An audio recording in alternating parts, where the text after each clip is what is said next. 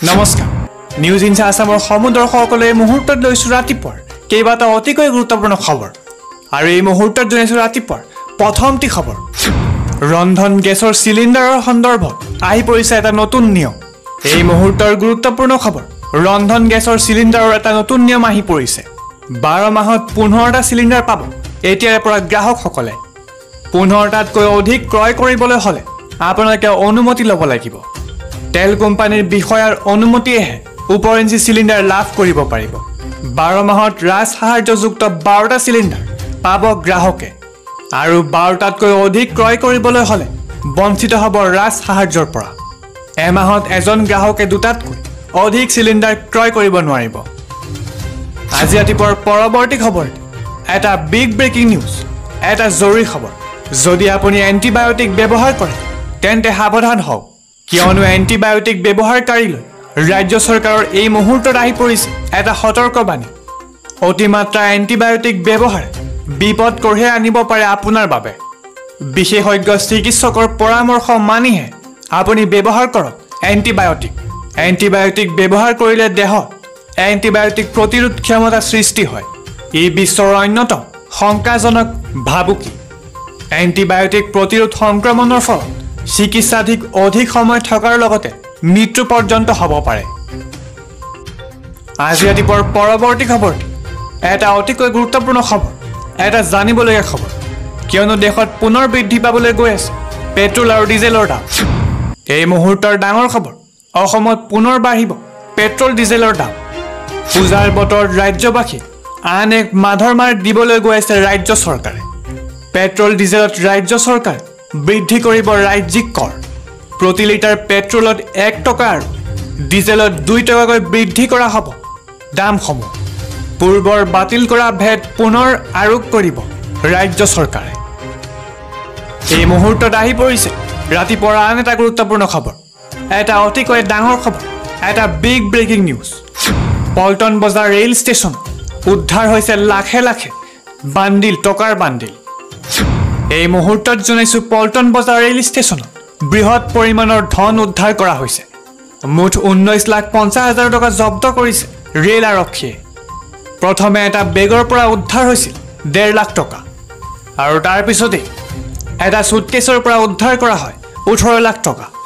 পল্টন বজাৰ ৰেল ষ্টেচনৰ এক নম্বৰ প্লেটফৰ্মৰ পৰা জি আৰ পিয়ে উদ্ধাৰ কৰিছে এই টকাখিনি। উত্তৰ প্ৰদেশৰ ৰবীন কুমাৰ নামৰ লোকজনে আনিছিল এই টকাখিনি। নগদ জব্দ কৰা ধনখিনিৰ সন্দৰ্ভত ৰেল আৰক্ষীয়ে এতিয়া আৰম্ভ কৰিছে তদন্তৰ। এই মুহূৰ্তত আহি পৰিছে ৰাতিপুৱা আন এটা জৰুৰী খবৰ এটা ব্ৰেকিং নিউজ অশ্লীল ফটো ভাইৰেল কৰি আৰক্ষীৰ জালত পৰিছে এজন লোক। এই মুহূৰ্তত এটা ডাঙৰ খবৰ অশ্লীল ফটো ভাইৰেল কৰি আৰক্ষীৰ জালত পৰিল এজন লোক। যোৱা নিশা পল্টন বজাৰ আৰক্ষীয়ে আটক কৰে হীৰেণ বড়ো নামৰ এজন লোকক।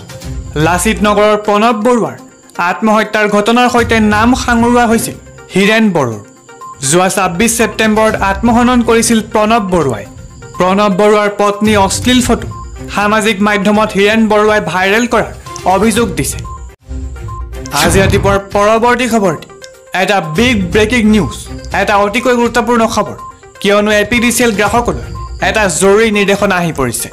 এই মুহূৰ্তত জনাইছোঁ উপভোক্তাসকললৈ এ পি ডি চি এলৰ ফালৰ পৰা এটা স্পষ্টীকৰণ আহি পৰিছে। বৰ্ধিত বিদ্যুৎ বিলৰ বাবে প্ৰচাৰ হৈছে কিছুমান ভুৱা বাতৰি। চলিত মাহৰ বিল পৰিশোধ নকৰিলেও হ'ব বুলি ওলাইছিল এই ভুৱা বাতৰি। এই খবৰ সম্পূৰ্ণৰূপে ভুৱা বুলি স্পষ্টীকৰণ দিছে এ পি ডি চি এলৰ ফালৰ পৰা। গতিকে বিল পৰিশোধ কৰিবলৈ অলপো সময় পলম নকৰাৰ অনুৰোধ দিছে এ পি ডি চি এলে নিৰ্দিষ্ট সময়ৰ ভিতৰত আদায় কৰক আপোনালোকৰ বিদ্যুৎ বিলসমূহ। বৰ্ধিত বিলৰ উপভোক্তা ওপৰঞ্চি বিলৰ ধন ঘূৰাই দিয়া হ'ব পিছৰ মাহত। লগতে বিদ্যুতৰ মাচুল কমাই অথবা এডজাষ্ট কৰি দিব বুলি উল্লেখ কৰিছে এ পি ডি চি এলে এই মুহূৰ্তত জনাইছোঁ ৰাতিপুৱাৰ এটা ডাঙৰ খবৰ ব্ৰহ্মপুত্ৰত হ'ব আৰু এখন নতুন দলং। ব্ৰহ্মপুত্ৰৰ ওপৰত নিৰ্মাণ কৰা হ'ব আৰু এখন নতুন দলঙৰ। শৰাইঘাট দলঙৰ কাষতে নিৰ্মাণ হ'ব দীঘলীয়া আৰু এখন নতুন দলঙৰ। এই নতুন দলংখনেৰে ৰেল আৰু যান বাহন উভয়ে চলাচল কৰিব পাৰিব। এই ঘোষণা কেন্দ্ৰীয় পথ পৰিবহণ মন্ত্ৰীৰ এই দলঙৰ নিৰ্মাণৰ বাবে নশ ছিয়ান্নব্বৈ কোটি পঁয়সত্তৰ লাখ টকা অনুমোদন জনাই কেন্দ্ৰীয়ৰ ফালৰ পৰা। পি এমৰ গতি শক্তি মিছনৰ অধীনত নিৰ্মাণ কৰা হ'ব এই নতুন দলংখনৰ আজি ৰাতিপুৱাৰ পৰৱৰ্তী খবৰ এটা অতিকৈ ডাঙৰ খবৰ এটা বিগ ব্ৰেকিং নিউজ পল্টন বজাৰ ৰেল ষ্টেচন উদ্ধাৰ হৈছে লাখে লাখে বান্দিল টকাৰ বান্দিল। এই মুহূৰ্তত জনাইছোঁ পল্টন বজাৰ ৰেল ষ্টেচনত বৃহৎ পৰিমাণৰ ধন উদ্ধাৰ কৰা হৈছে। মুঠ ঊনৈছ লাখ পঞ্চাছ হাজাৰ টকা জব্দ কৰিছে ৰেল আৰক্ষীয়ে। প্ৰথমে এটা বেগৰ পৰা উদ্ধাৰ হৈছিল ডেৰ লাখ টকা। আৰু তাৰপিছতেই এটা চুটকেছৰ পৰা উদ্ধাৰ কৰা হয় ওঠৰ লাখ টকা। পল্টন বজাৰ ৰেল ষ্টেচনৰ এক নম্বৰ প্লেটফৰ্মৰ পৰা জি আৰ পিয়ে উদ্ধাৰ কৰিছে এই টকাখিনি। উত্তৰ প্ৰদেশৰ ৰবীন কুমাৰ নামৰ লোকজনে আনিছিল এই টকাখিনি। নগদ জব্দ কৰা ধনখিনিৰ সন্দৰ্ভত ৰেল আৰক্ষীয়ে এতিয়া আৰম্ভ কৰিছে তদন্তৰ। আজি ৰাতিপুৱাৰ পৰৱৰ্তী খবৰটি এটা অতিকৈ ভাল খবৰ এটা বিৰাটেই ভাল খবৰ কিয়নো চৰকাৰে দিব দুই হাজাৰকৈ টকা।